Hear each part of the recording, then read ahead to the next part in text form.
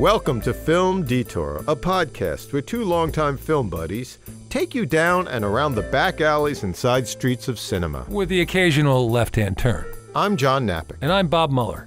So let's go. John, you ready? I'm ready. Let's hit it. Today we're doing a Halloween show. Uh, John and I were talking about uh, some some movies that really influences as kids. Uh, in, in You mean scared the crap out Yeah, of us? I- influence is not really the right word. You're right. Uh, yeah, scared the crap out of us. Uh, so, so Horror Hotel was made in 1961, and uh, as far as I'm concerned, it's 76 beautiful minutes. They have the cheapo budget of cheapo budgets. It's Yes. all done in the studio, and they do such a beautiful job with it. Yeah. It's it's all about mood, right, John? what really works is that the way they're saving the money, they use it to great effect. Oh my God! Because clearly you can't see a lot in a studio, so everything's night. Everything's at night. There's fog everywhere. It's so atmospheric. It works really well. It reminds me of the Twilight Zone, the way they used to do the Twilight Zone episodes, because they're Yeah. all con- condensed down and they only had limited sets and limited props and whatnot. So that, believe me, all that money is on the screen. and it adds to the creepiness. It's beautiful. This was made by Vulcan Film Productions, which was an early precursor to. Amicus, uh, and uh, it, it was started by Milton Subotsky, who wrote the story for Horror Hotel. And Amicus was this production company in England, Right. And they specialized in uh, a type of film called a portmanteau film. That's very sophisticated, John. Well, that's what they do call them. It's funny when you look them up. Uh, and those are basically those stories you see. They're episodic. They usually contain three to four stories within a movie. And a, and a host a lot of the times, right, Yeah. John? Sort of a host, you know, like the Crypt Keeper would be or something like that. and they usually have a lot of great stars in them, like B movie stars. Yes. They gather all these different stars in there. And Absolutely. They, uh, they they had a whole run in starting in the mid '60s The house the that '70s. drip, the house that dripped blood, uh, really fantastic movie. Doctor Terror's House of Horrors, right? Uh, Asylum is another one. From Beyond the Grave. And also, the most famous, I would say, would be the Tales from the Crypt. Uh, this film, we're going to call it Horror Hotel. That's the American title of the film. Uh, the It was originally called what? City of the Dead, City of the Dead, the original British title. which is a great, which is a great name. I think it's a really probably a better name. But something about the alliteration of Horror Hotel and seeing the credits come up Right. when I was sitting home on a rainy afternoon by myself. Uh, so, who directed this, Bob? John Llewellyn Moxey. And we, we know he did a lot of television stuff. Yeah, yeah. He did The Saint, The Avengers, Hawaii Five-O, Mannix, NYPD. Remember NYPD, John? And Dun, dun, dun, dun, dun, dun. The. Night Stalker, Night Kolchak. So the cinematographer for this was Desmond Dickinson. Uh, uh, amazing. And Yeah. this guy, John, this guy's been working since the 20s, from the 20s to the 70s. He did everything from um, Olivier's Hamlet, Uh, the Rocking Horse winner, A Study in Terror, which is a which is a Sherlock Holmes one done in the 60s. the Yes. Browning version, Berserk with uh, Berserk. with Joan Crawford, and of course the classic Trog. with Joan With Crawford, Joan Crawford. in her in her slumming years, Right. and then the screenplay. It's uh, by George Baxt, and he wrote um, something called Circus of Horror and Burn Witch Burn. He did, which was Burn Witch Burn was a rewrite from Richard Matheson and Charles Beaumont. I guess they weren't that crazy about it, so they wanted to beef it up or something. So who's in this film We have Christopher Lee. as Alan Driscoll? So Christopher Lee, uh, as we know, is in a lot of Hammer films, Hammer horror films, uh, such as uh, Dracula has risen from the grave, Uh, the Mummy, The which Mummy, is a, which is a really great remake of the Universal. The House That Dripped Blood, The Wicker Man. He's in The Wicker Man. Mm-hmm. I love The He's in a Man. lot of films. I mean, we can go on and on here, but Classic horror film, uh, stalwart actor. he actually played Dracula, Count Dracula, eleven times Really, in my calculation. No, I that could be sounds off about right. one or two. that sounds about right. So who else is in this film? Uh, we also have uh, an actress. Her name is Patricia Jessel. Uh, she plays one of the witches, Elizabeth Selwyn. Or Miss Newless. She's she's Right. also Miss A Newless. dual role. Yeah. and uh, Venetia Stevenson is Nan Barlow. As Nan Barlow. She's terrific. Well, for me, What I love about it is it opens up like a like like a like a punch in the face. It has this bombastic music. It's like a night on Bald Mountain or Yeah. something like that. They're kind of chanting. Yeah, and then they But it's very creepy. but it has you have to have some satanic chanting to really get your blood going. But think about it. This was like the mid '60s, and when you're, even if you're seeing this as a kid, Yeah. You're not really familiar with all this kind of this No. world of chanting and demonic whatever. It's it's spooky. Yeah. I mean, it, it starts out, the music is creepy.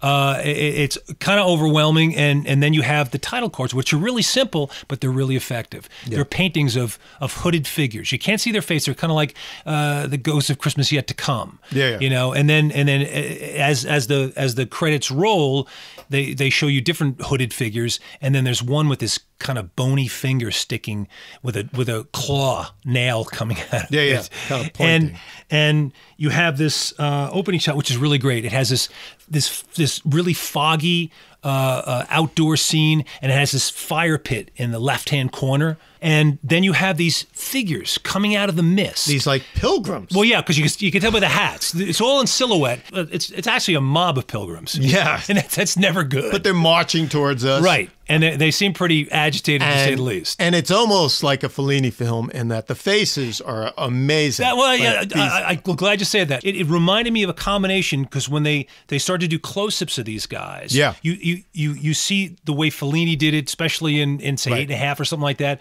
or even Sergio Leone, Yeah. with these really close close-ups, and you're getting these different perspectives of these odd faces. so you have all these townspeople, and they're they're yelling out "witch." Right. They're going to find the witch that's in town. They're they're they they, they they're set up to go. They're marching toward you, and they know which house to go to, and they want to they want to get this witch, who is Elizabeth Selwyn.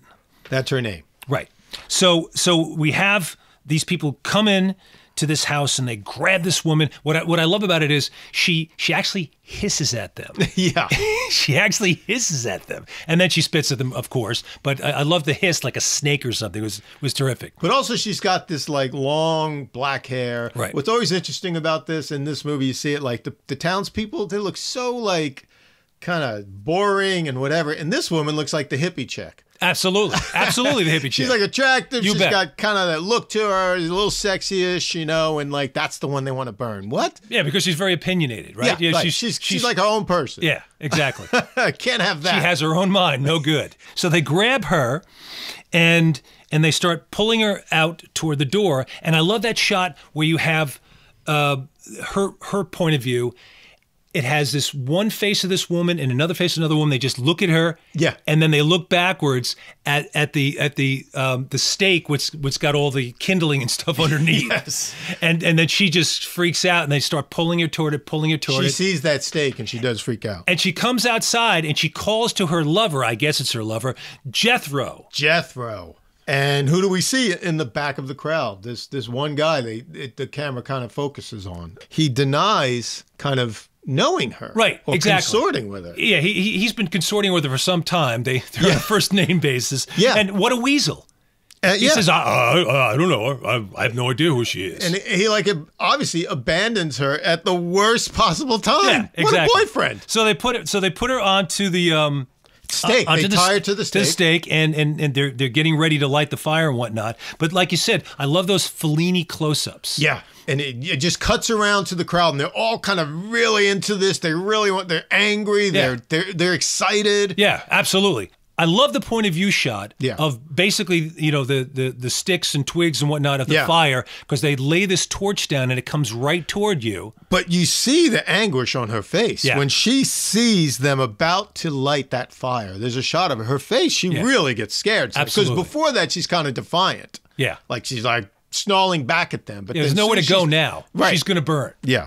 She is now basically being lit on fire and she finally gives it up and calls for help. She calls to Satan and Jethro chimes in. That's right. quietly. Help her, Lucifer. Help her. He's a little late. Yeah. Thanks, Jethro. You know, Jethro could have said, "Hey, Lucifer, give us a break right now before Yeah, he actually gets put up and burned to death." Gosh. He's a little late, but I guess better late than never. With friends like that, who needs enemies? And this is where the lines they start chanting, like she starts burning on the stake. Right. And she starts to chant, I have made my pact with thee, O Lucifer. And she goes on. And Jethro also chimes in from the back of the crowd. These are the lines they cut out for the American version. Oh, so it was it was too too. Actually, it's pretty funny. We're still puritanical even in the 1960s. 'Cause they- yeah. in, in in in America because they had to cut those couple couple of Lucifer references. like, what is that? Like, the, well, we know they're bad guys. Yeah, in We- we- England they can hear this. Why can't we hear it in America? it doesn't make any sense. But we know they're bad guys. Okay, they're they're you know. Satan worshiper, not Yeah. a good guy. Okay, we can understand that. So why why is it a problem? I don't mean, at some point she says, like, for all eternity shall I practice the ritual of black mass. So maybe just in the U.S. we're so church oriented that Yeah. was just too much. I don't Yeah. know. So they did cut that out. that's what they cut out. That's And amazing. As she's burning, I just have to tell you, she does give, a, she does scream out a curse. She does curse this town. Right. Uh, something like make the city an example of the vengeance. But so she curses the town on the stakes, and the crowd reacts to it. Some of the women look at each other like, I don't know if they even mentioned We didn't see that coming. Yeah. Couldn't she just burn and be quiet? So she actually fesses up to being a witch, and she's cursing them. Wow. Um, and then you start to see all these faces.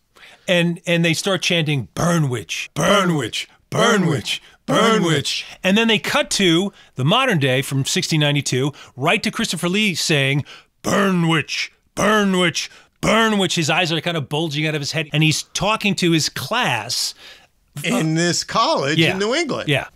He's in the middle of this lecture uh, professor driscoll as we said played by christopher lee and he's all caught up in this whole um, you know fervor of this witch getting burned and the crowd talking about this. Yeah. We we learn a bit a little bit later on there he has reason to feel really upset about this whole situation. Let me get this right. He's teaching a class on witchcraft. Is Wait, that he- the idea? he's a history professor, yes, but this particular class is is witchcraft. Right. And it's this typical American class. They're all kind of like very clean cut looking kids, except for the boyfriend. Uh, he talks to this one girl, Nan, who's Yeah.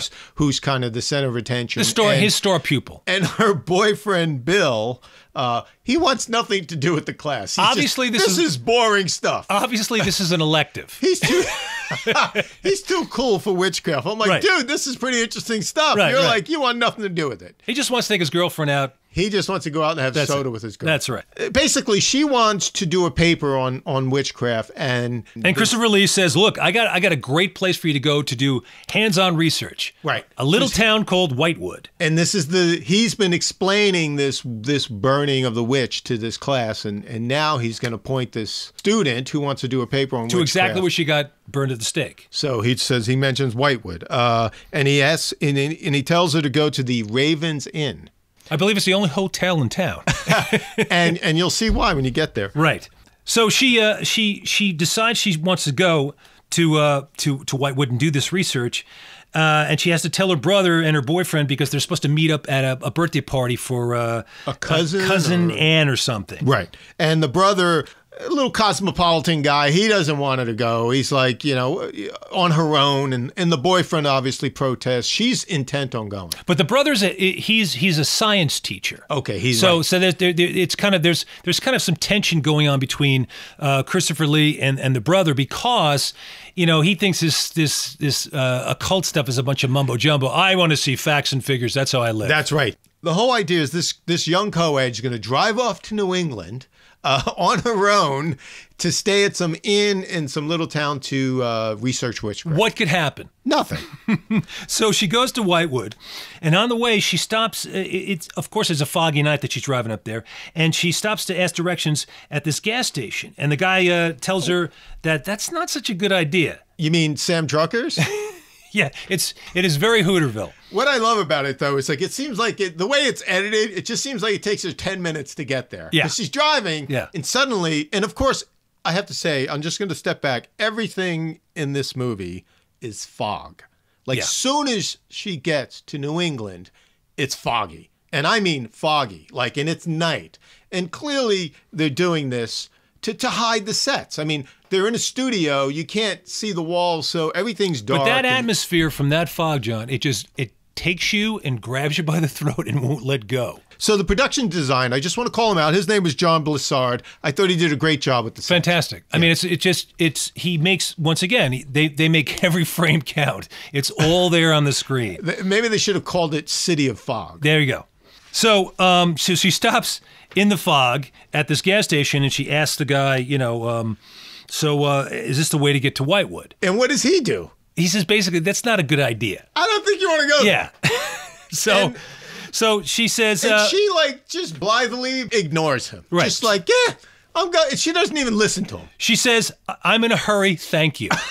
that pretty much says it all. What is it with young co These teenagers today. and these horror films? Don't they ever get the hint? So she she drives on a little further in the fog and she gets lost again and she sees this tall dark silhouette standing in the fog and she asks him for directions. She pulled at a crossroads. Right. You're driving in the fog at night. If I had three guns in the car, I wouldn't stop for this guy at the a crossroads. It This sounds like Robert guy- Johnson to me. Yeah, this tall guy in the fog at night. So he's he's he's uh he's standing there uh, with this as a silhouette. He's backlit. He, he kind of looks like you know the uh, the poster from The Exorcist.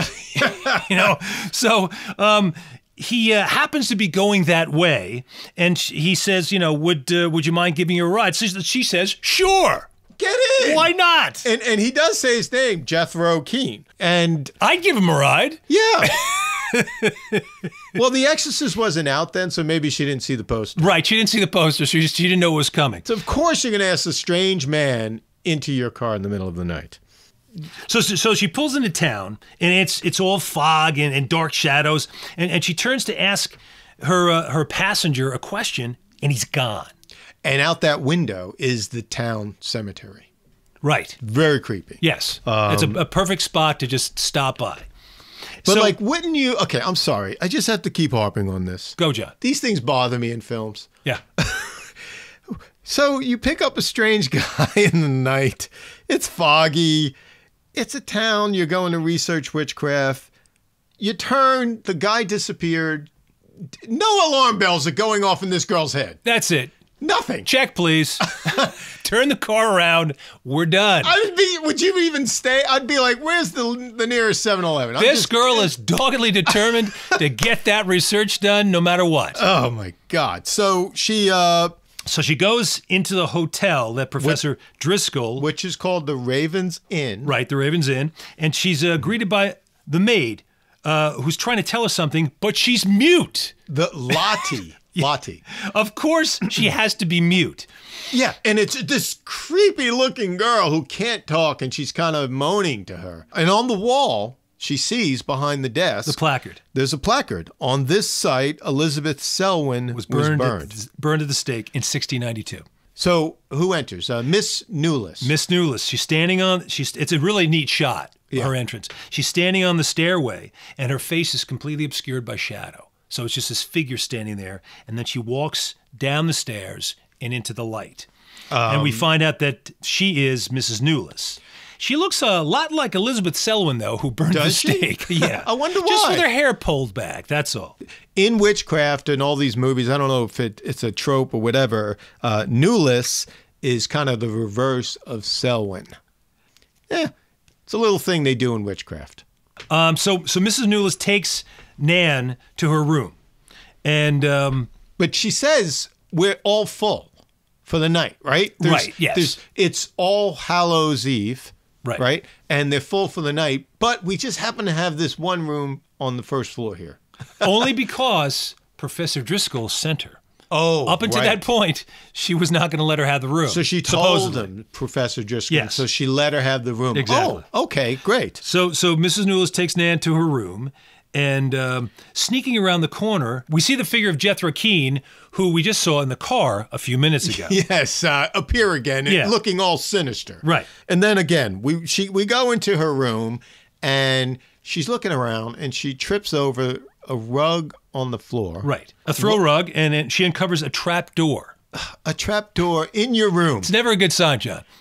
And Never a good again, does does the poor lass take the hint? Well, you know, there is one thing. There was no there is no pull ring to pull the door open. Oh. So so what do you do? You just put the rug back on and you go out for the evening.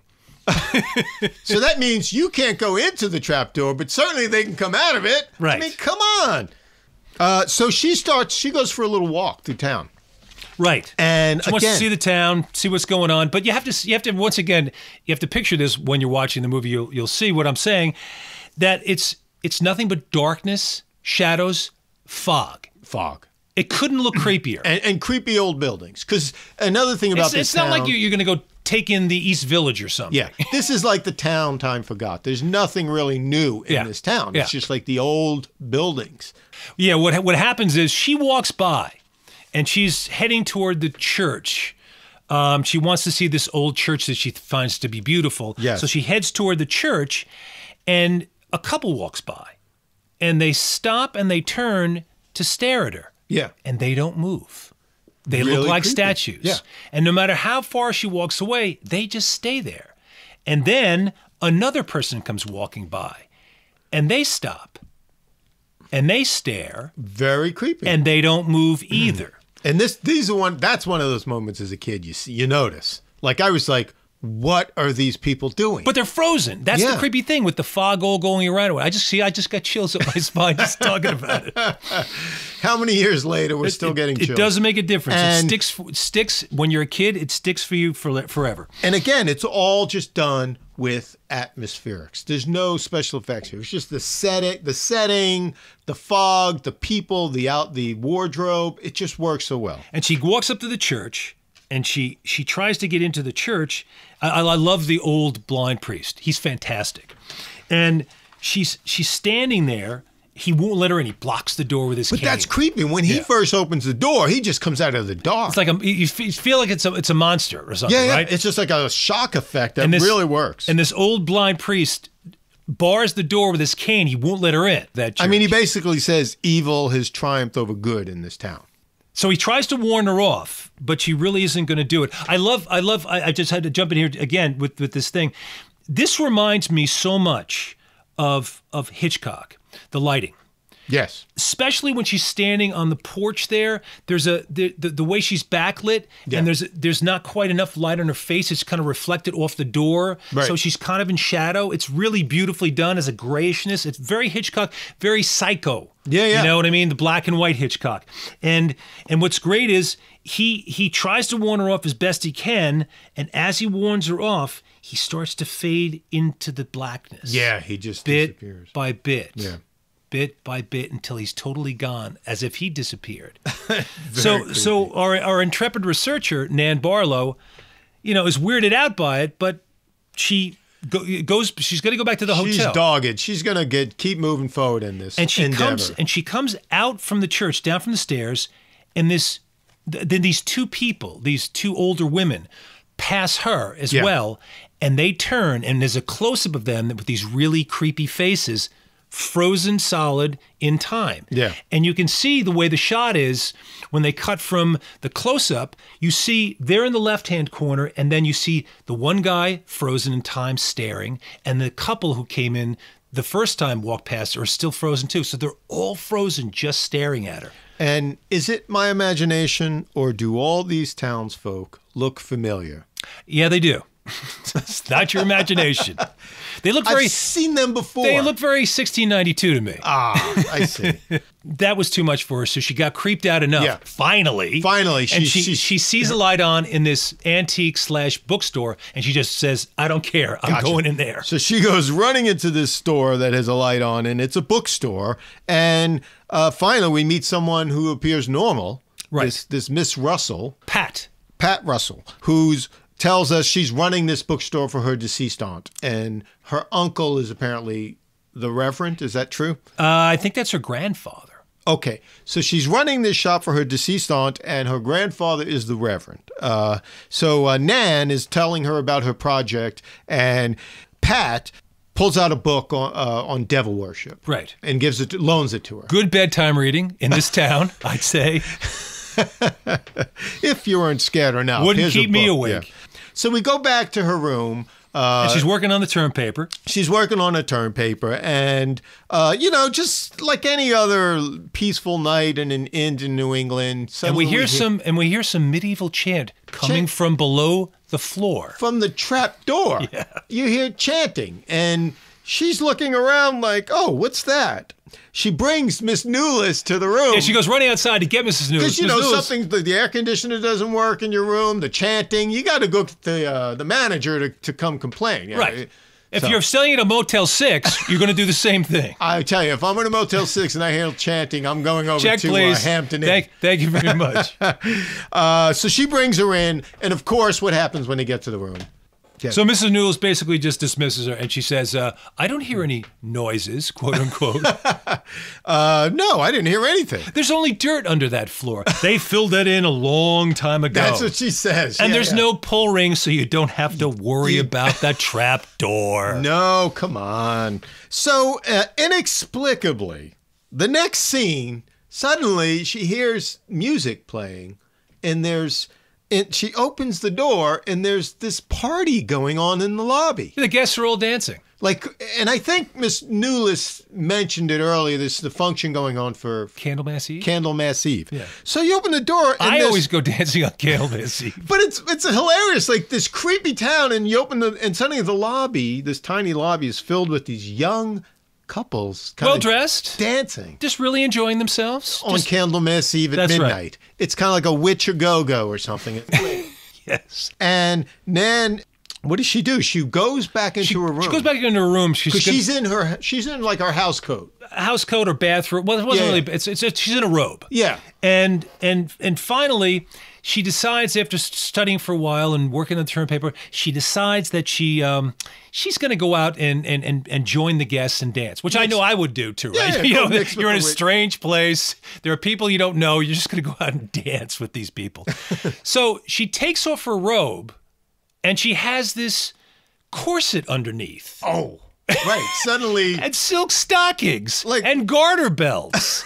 and I'm thinking, yeah, sure. When you're studying at home under your robe, you always wear a corset, garter belts, and silk stockings. So let's step back half a step. She does call Miss Newless into the room to show her this old manuscript from the book. Right. That talks about this coven of witches. They mocked the young girl before sacrifice Right. by taking a personal item of hers and, By the way, Nan's bracelet is suddenly missing.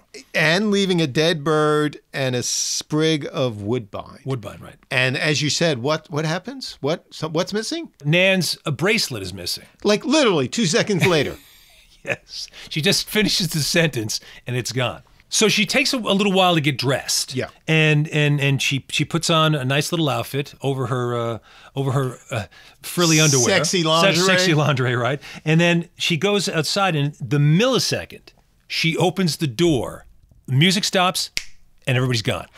like nothing. Nothing. It just literally All you can hear is tick tock tick tock from the clock in the hallway. And then she's like, Where did everybody go? And she's told the guests have gone to services. Uh, where she see, and then she looks, and there is a calendar that says Candlemas Eve. Candlemas Eve. It's all starting to dawn on her. So she's back in her room, and she opens her drawer, and what does she find? She finds the dead bird with some little arrow stuck through it. She Like- turns and she looks at the doorway and it has woodbine on it. Okay, at this point, would you take a hint? That's it. Like, what would you do? Hello, Uber. I'm done. I like, but I don't, she? I don't even want to drive. Does she take the hint? No. No, no, no, no, And then suddenly the shade in the window goes flipping up. And you hear tink, tink, tink, tink. And it just so happens on the pull ring of the shade is the pull ring for the trap door. And out the window, she sees this group of people, Procession coming through of hooded figures. but through the cemetery, her hooded figures walking through the cemetery. Right. Okay. Chanting. Time to leave, right? Exactly. she sees this little thing hanging. She grabs it. What does she do? Trapdoor. She pulls a Tippi Hedren. That's what she does. She pulls a Tippi Hedren. Like, why would you suddenly go for the trapdoor? But that's what she does. She goes downstairs, and the way the lighting is reminds me so hmm. much of Hitchcock. Yeah. The way she's got the flashlight and the lighting behind her and whatnot. It's it's a beautiful shot. I Yeah. mean, as a still shot itself, it's beautiful. It has this feeling of of when when she's starting to go downstairs these these stone stairs Yeah. and the pillars it's it's like catacombs and on one of the pillars there are chains and it seems like manacles attached to it another reason to turn around and go back Get your butt out of there. right Tippi Um, come on so she's walking through this. it's this- classic horror film stuff but it's it's classic horror film stuff and the chanting's increasing. And of course, suddenly she's grabbed by these two uh, robed, hooded worshippers, and they drag her, screaming, you know, into this room, and the, and she sees there's an altar. it's, a stone altar you know this is not good Suddenly, uh, Miss Newless appears, and Professor Driscoll are among the worshippers. uh, for Candlemas Eve for, for for this this satanic ritual that they're doing, they have to wait for the hour of thirteen Gotcha. in order for them to carry out this sacrifice. And so they get her, and they're waiting, and uh, Selwyn uh, or Mrs. Newless is holding this huge sacrificial knife. The thing is gigantic. You know, I I know you know it's the woman is lying there and it's part of a horror movie, but you feel so horrible for Nan because she's begging for her life. Yeah. Please, Mrs. Newless, please. Yes. And Mrs. Newless says, I'm Elizabeth Selwyn. Yeah. Once again, I just got chills at the back of my spine. Creepily said, in the background. Christopher Lee in the hood. I mean, if she ever, if she saw him, that must have like just freaked her the hell out. Absolutely. And this knife just comes down, and we do another Another beautiful cut. cut. Yeah. It cuts. We don't see any blood or any any gore. It just it, it just the knife comes down to a cut, mid stroke. and then they cut to cousin Ann's birthday party. It's the cake getting cut, and So- that is that is that particular cut is something I have remembered my whole life. Yeah. even at birthday parties, I think I think of this particular thing. And and so the brothers at this birthday party Right. of the cousin. Um, And the and the boyfriend comes in. I just have to point out this curious. I don't know if you noticed coincidence. You mentioned it's funny earlier. You mentioned Alfred Hitchcock, Right. in black and white. There's something very interesting about this plot. It's very similar to the first third of Psycho. Right, because we're talking about the blonde, beautiful star. Yeah, She dies halfway in or, to or the even movie. a third. And like same kind of thing where she's driving off into the night to some remote location. Right. I mean, that's where the coincidence ends. Did it? Did it? Did it? they were filmed the very same year. I, I had an old friend of mine who believed in currents. Yeah. In creative currents in life. Okay. That even if even if somebody's doing something in a totally different part of the world, Right. and they come up with some sort of concept, Yeah. and then they put it on record, or or or they they write a book or do a movie, Yeah. and somebody else is you know in New Jersey, Yeah. and they do some same same kind of thing. It's it's almost like current So it, it I don't think Hitchcock stole anything or whatever. No, no, they were done the same time. And, But and- it's it's very very similar in a lot of ways, and it feels like Hitchcock, and I mean that in the in the best possible sense Yeah. for the cinematographer and the production designer because Well, it's beautiful. for Psycho, Hitchcock did that on a TV budget. It wasn't Right. a big Universal movie budget. Right. And that's why it looks that way. It's got a great independent feel, Psycho. Really cool coincidence. They're at the party. They're expecting Nan to come. Right. So the boyfriend Bill and her brother, like, where is she? She she should be here. So they decide to call the cops. She's missing.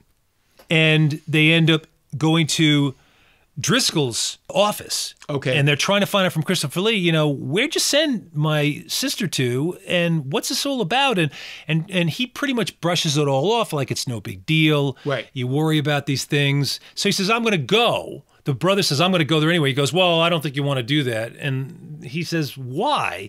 And he goes, Well, because you're probably just making a lot out of nothing. Yeah, great excuse. Thanks. Thanks, Christopher Lee. Yeah, nice job. So at this time, Pat Russell, Yes. whose grandfather is the old priest and she was has the managing the bookstore. bookstore, she comes to talk to Driscoll too because Nan is missing and Yes. she never came back for the book that she loaned her in the first place. So this all seems like a big question mark to all three of these people. So finally, um, the brother, the boyfriend, and Pat have a little powwow and they say, okay, look, we got to go back and we got to s- look into this because we're not we're not cool on this. We think there's something really wrong. So Pat heads back to this is a funny scene. Pat heads back to New England. Down that same road. Once again, once again, we stop at the gas station Yeah. because it's foggy and she's not sure what the heck's going. I love this whole sequence because each individual person sets out by themselves. Yes, all And- three of them. And all three of them stop at the gas station to ask this guy. Why can't they commute? How do you get the I- I- white Why one? can't they commute together? I don't understand. yeah, Anyway, little carpooling or something. It's, you know, save some time. but she goes first, and she runs into uh, Jethro. Jethro Keen. Does she pull over for him? Yeah, she pulls over for him because she's once again she's kind of lost too because it's very foggy and she can't see where the heck she's going. And he happens to just be standing there at the crossroads. Hello, Robert Johnson. And she picks him up. What is it with the young women in this film? As you as you were alluding to, next, both men stop at Sam Drucker's gas station separately at different. You know, Like, one- why? One pulls in, the next. It's all very. It's all very Green Acres. It's all very Hooterville. And then Bill, the boyfriend, is driving on the road, and suddenly he sees a weird vision in the middle of the road. This is the key image in this movie that just scared the shit out of me. I think you know from that point on. Yeah. I mean this this is the this is the scene that got to me. He's driving down the road. Now the, the thing the thing of it is, when I watched this movie originally, I was a little kid. I don't know, probably eight years old or something. Yeah. Nobody was home. And all I can think of now when I was watching it recently is, why didn't I shut it off? why did I watch this whole thing? So so the boyfriend's driving down the road. He's the third one in line. And he's driving down the road, and all of a sudden he sees in the middle of the road Elizabeth Selwyn burning at the stake, laughing hysterically, laughing maniacally. And he doesn't know what to do, so he freaks out and he crashes, boom, right into this tree. And the car starts on fire. It's twisted and, and, and, and pushed over on its side.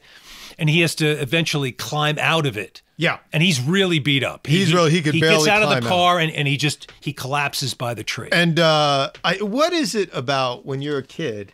I, I I have a similar thing. Like I'm watching these scary movies, and my parents don't give a damn. Like no supervision whatsoever. I would like look over at them, go, "You're letting me watch this?" I but see, John, I had no backup. I, was dumber than you because I wasn't even sitting there with my parents. I was sitting here on a, on a rainy afternoon watching this movie from beginning to end. I mean, I should have shut it off when I saw the credits, for Christ's sake. so the bill crashes, uh, and of course we get to town, and again, foggy is all get out. Um, uh, and the brother goes walking through the town. Uh, he he gets to the church. What's really interesting about the scene is is the brother retraces Nan's steps basically. He goes to the hotel and he Yeah. talks to Mrs. Newless. He checks into the same room as her and then he wants to go find he heads towards the church like she does. And as he's walking up the street with the fog, a couple walk by. And then they turn. Oh yeah. And then they lock, just like it did with Nan Barlow. And then a little further, the same thing happens. they do not like strangers in this town. It's just like there. There's no tourist uh, trade in. Well, this that, that's actually what that's actually what the the, the, the uh, gas station attendant says. They do not like strangers in this town. So the guy walks by, another guy walks by him, and and turns around and stares at him in lockstep, and then he goes and he talks to the priest. yeah. And so he tells him uh, the town's filled with devil worshippers, and tonight is the witch's Sabbath. This is when Pat, Miss Russell, finds a dead bird in her drawer. Right. Uh, and then suddenly the Reverend's like, "You must leave at once." Right. Because he knows. And they try to get to the car, and They discover the car won't work. I mean, the car won't start. Yeah. And they open it up, and of course, you They've know, like wrecked the car. destroyed They've the- like totally destroyed it. So the, they do snatch Pat. The witches snatch Pat, and the Reverend sees what's happening. All this stuff is happening really fast now, and the Reverend tells Barlow, the brother, use the shadow of the cross.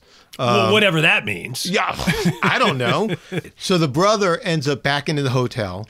He goes into the trap door. Right. So he's now crawling through this this underground cavern. Right. And uh, he finds Nan's locket. And that's kind of like there's little breadcrumbs. He's he's going along. So he makes his way to uh, the the next room. Yeah. And sees Pat on the altar that we saw Nan Barlow before. And they're she's gonna- about she's about to be sacrificed by uh, a good old Mrs. Newless slash Elizabeth Selwyn. And then we have this good old struggle. Right. He's fighting with them. The brother, uh, Nan's brother, you know, punches and pushes and this is and that's, and they get away and they run upstairs. Of course they get away. they He's run up, just one guy, just all these witches. Yeah, but out of the frying pan into the fire because they run upstairs and where are they? In the graveyard. with, Oops, with wrong the, turn. with the rest of the coven. When the coven, it's a POV shot when the when the coven is coming toward Yeah. them, and they all seem like they have claws drawn. Yeah. it's beautiful, and they're about to sacrifice Pat on the Yeah. altar. Elizabeth Selwyn is going to sacrifice her, and she's just about to bring the knife down, and Christopher Lee says, "Wait." For the hour of 13. Yes. So they got to wait. Hour of 11, hour of 12. You know, can we get on with it already, please? Does it really make that much difference? So they got to wait for that chime of 13. The brother. The brother of Nan yells out to the boyfriend, the cross, put the shadow of the cross on them. So he, tries to make his way over and he's still struggling, tries, he goes to pick up the cross to pick it up and and put the shadow of, of the cross on them. Well, she knows what's going to happen. He's grabbing the cross. Suddenly, that's like kryptonite there. Right. So the, he, she takes the sacrificial knife. Yeah. And and she is a hell of a knife thrower. She throws it from across the, the, the graveyard, boom, right into the guy's back. And you figure, that's it. He's done. That's it. Forget it. The- the- um, the- these guys are all done for. That's the end of the movie. What I love, this is the next thing I love is now she's got no knife. Why wouldn't you throw the sacrificial knife? It's almost like uh, the professor would have went like, "What are you doing? We need that. That's what the thing is. What we're here for." So she now has no knife to do anything with, and Christopher Lee doesn't.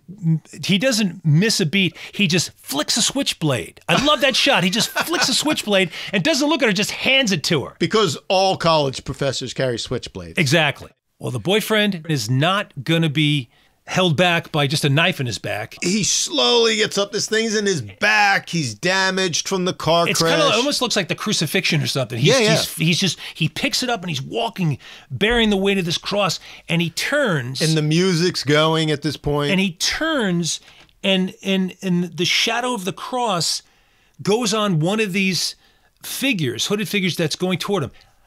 I don't know how they did this special effect, Right. but it's magnificent.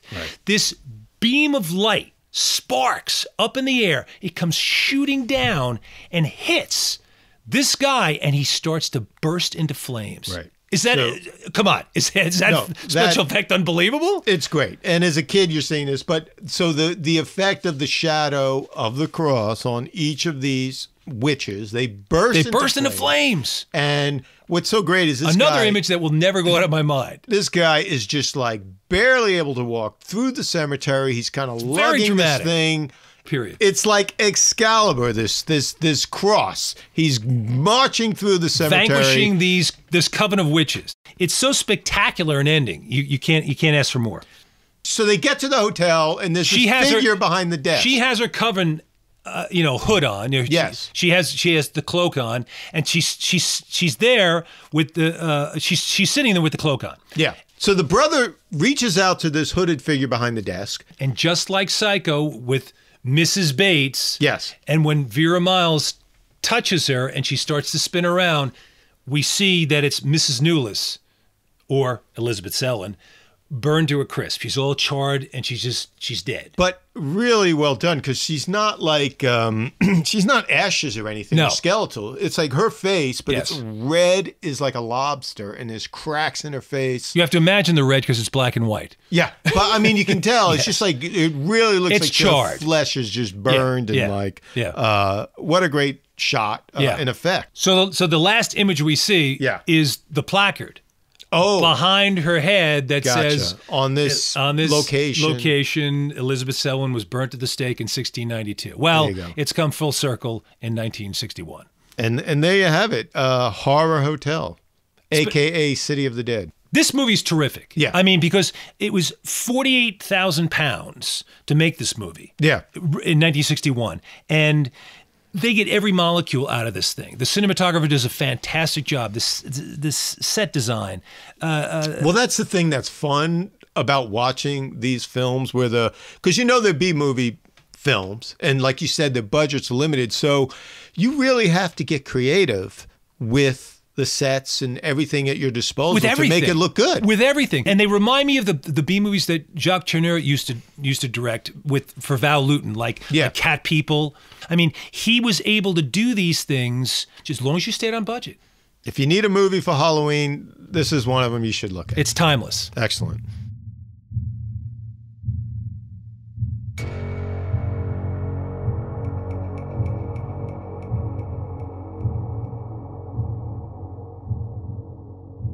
Since this is a Halloween episode, John and I are going to throw some quick, uh, sort of off the top of our head picks that we have to share with you. So you should check out as well during this Halloween season. And I just have to say, we we both have our own choices. We didn't tell each other what our choices were, so we may have the same films. We don't know. It's possible. It, this is kind of like horror bingo here.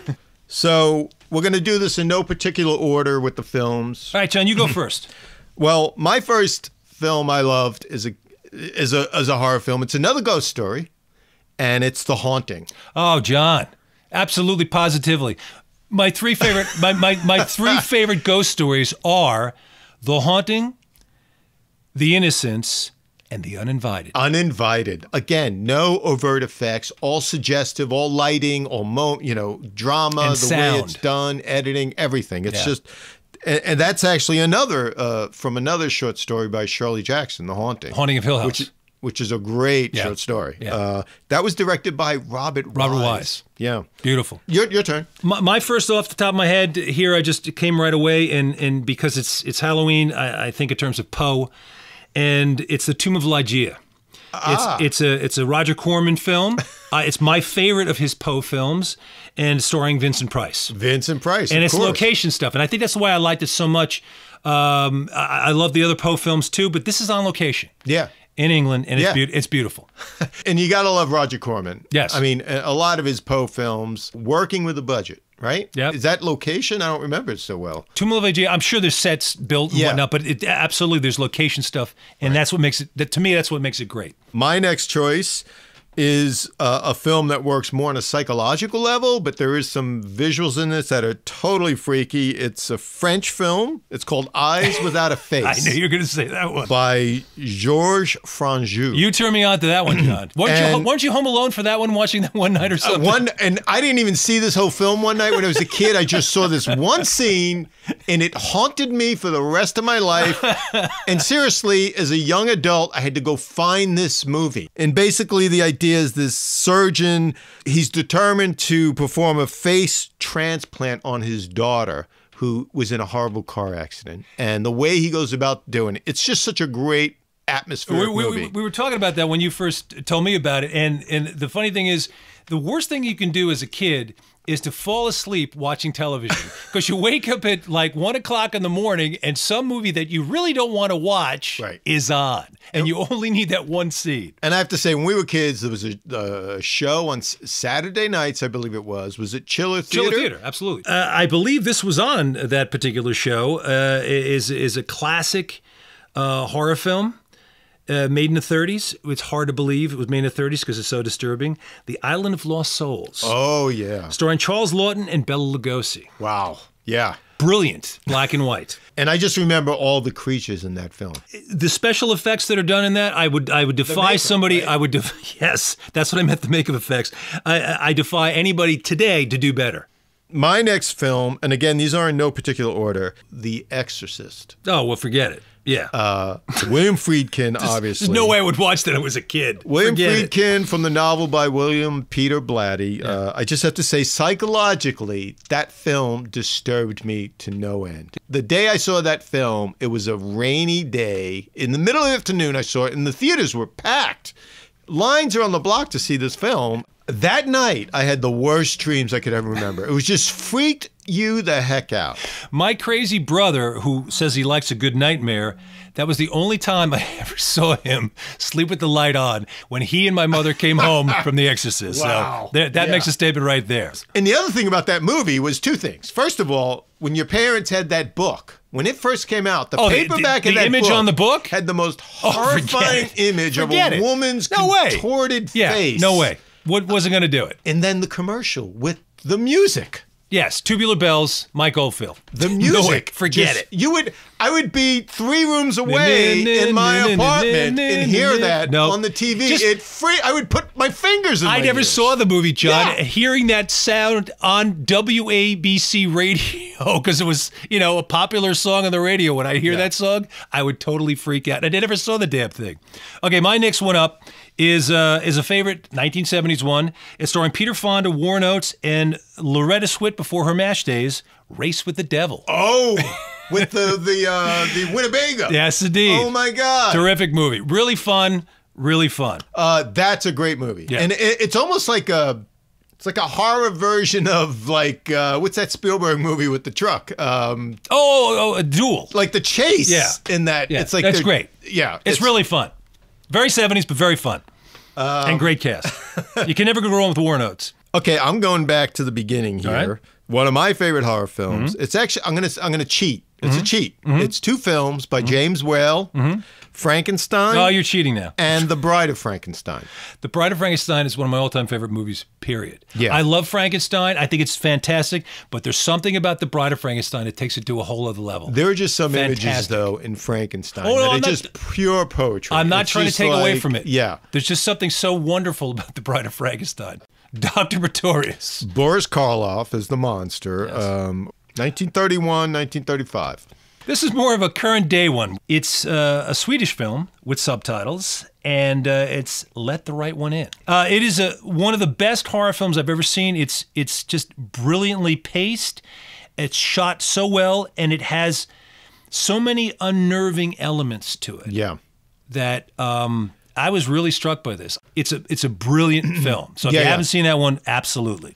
My next film, you kind of stole my thunder a little earlier, Hmm. Sorry. is Rosemary's Baby. Absolutely. Roman Polanski, John Cassavetes, Mia Farrow. It's the quintessential 60s horror Absolutely. film. And Ruth Gordon. Yeah. Who's and Ruth hilarious. Gordon. And, Yeah. and and the uh, the Dakota, the building itself is a character. It is a sense. character in Um, itself. great 60s film. Great Cassavetes performance. Yeah, yeah, you got to see that. Uh, I have one here. Uh, John knows very well, and uh, it might seem like an odd choice, but uh, it's a Clint Eastwood film. It Oh. was uh, starring and directed by Clint Eastwood, The High Plains Drifter. Oh, wow, look at that. You're putting that into the the horror Into genre. the mix. Wow. Well, it is a, it is a horror film. uh, yeah, yeah, You have yeah. to watch it, pace it, and you'll you'll get it as you see it see the movie. Very interesting. Yeah. Uh, my next choice is a classic from the 50s, uh, Invasion of the Body Mm-hmm. Oh yeah, Snatchers. uh, unparalleled. That's it's- Don Siegel, right? Don Speaking Siegel. of Clint Eastwood. Yes, absolutely. Um, Don Siegel. And and of course the the great Kevin McCarthy. That is such a creepy 50s paranoia film. to me it's the it's it's the ultimate paranoia film Yeah. because you, you're you're you're just you're so afraid of of everybody. You know, you you're you're just expecting everybody to be the bad guy, and you're hiding in that room. You know, it's I, am going to throw Bob a softball here. Yeah. Who's coming? they're coming. it gets so much under your skin because you put yourself in that position where everybody Yeah. is really against you. This isn't paranoia. Everybody really is against you. And you you have nowhere to go. Great, Yeah, great. great movie. Perfect one. This one is weird in this respect that you may say, well, it's not a horror film, it's psychological, it's a crime fiction or something. This is really one of the most disturbing films I've ever seen. It's a Dutch film and it's directed by George Sluizer. It's called The Vanishing. Oh yes. And he remade it with Jeff Bridges in English, which is kind of strange to take a, a foreign film and remake it yourself. I like that movie, but this one that's in Dutch, the original one, is very, very, Yeah. Very disturbing. And um, it's the kind of film that once you see it, it never lets go. Right. And I can tell you, when I'm at a rest stop with my wife driving on a trip, if she's in the bathroom for too long, I always Yeah. go, Keep- uh, I better go check and see what's going on here. Keep an eye on your wife It's at the rest stop. It's very disturbing to see. Yeah. Yeah. well, that's all the time we have for this week. We'd like to thank our friend Glenn Ornowitz for his music. And of course, our listeners for tuning in. So join us next week for another episode of Film Detour. Thanks for joining us for today's episode of Film Detour. If you like our show, please help us spread the word. Recommend us to your friends, subscribe to us on iTunes, Stitcher, or Google Play, and leave a review. Go to our website at filmdetour.libsyn.com to leave comments or email us with questions. That's filmdetour.libsyn.com. You can also visit us on Facebook, Twitter, and Instagram.